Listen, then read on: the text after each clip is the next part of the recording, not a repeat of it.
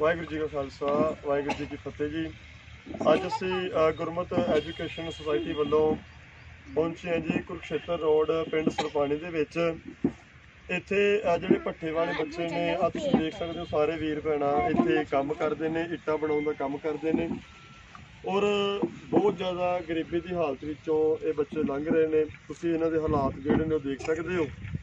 ਗੁਰਮਤ education society ਵੱਲੋਂ ਬਹੁਤ ਸਾਰੀਆਂ ਥਾਵਾਂ ਤੇ ਉਪਰਾਲੇ ਕੀਤੇ ਜਾ ਰਹੇ ਨੇ।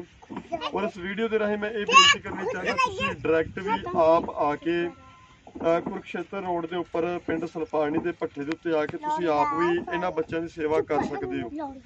ਇਹਨਾਂ ਵੀਰਾਂ ਦਾ ਜੋ ਅ, ਜੀ ਨੇ ਇਹਨਾਂ ਦੇ ਮੇਨ ਨੰਬਰਦਾਰ ਤੁਸੀਂ ਉਹਨਾਂ ਦੇ ਨਾਲ ਕੰਟੈਕਟ ਕਰ ਸਕਦੇ ਹੋ।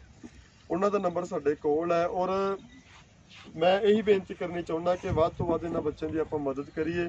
ਗੁਰਮਤ ਐਜੂਕੇਸ਼ਨ ਸੁਸਾਇਟੀ ਵੱਖ-ਵੱਖ ਥਾਵਾਂ ਤੇ ਉਪਰਾਲੇ ਕਰ ਰਹੀ ਹੈ।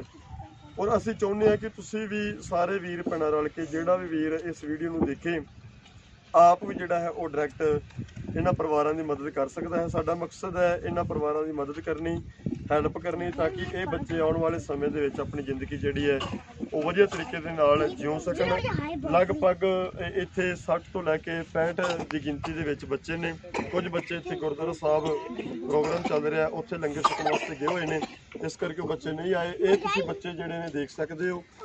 ਤੇ ਵੱਧ ਤੋਂ ਵੱਧ ਆਪਾਂ ਇਹਨਾਂ ਪਰਿਵਾਰਾਂ ਦੀ ਮਦਦ ਕਰਨੀ ਹੈ। ਆਉਣ ਵਾਲੇ ਸਮੇਂ ਦੇ ਵਿੱਚ ਇਹਨਾਂ ਬੱਚਿਆਂ ਨੂੰ ਜੁਰਾਬਾਂ ਔਰ ਬੋਟ ਜਿਹੜੇ ਨੇ ਉਹ ਸੇਵਾ ਕਰੀਏ ਆਪਾਂ ਰਲ ਕੇ ਤਾਂ ਕਿ ਸਿਆਲ ਦੇ ਵਿੱਚ ਬੱਚੇ ਆਪਣੀ ਜ਼ਿੰਦਗੀ ਵਧੀਆ ਤਰੀਕੇ ਦੇ ਨਾਲ ਜਿਉ ਸਕਣ। ਬਹੁਤ ਬਹੁਤ ਧੰਨਵਾਦ ਜੀ। ਵਾਹਿਗੁਰੂ ਜੀ ਕਾ ਖਾਲਸਾ, ਵਾਹਿਗੁਰੂ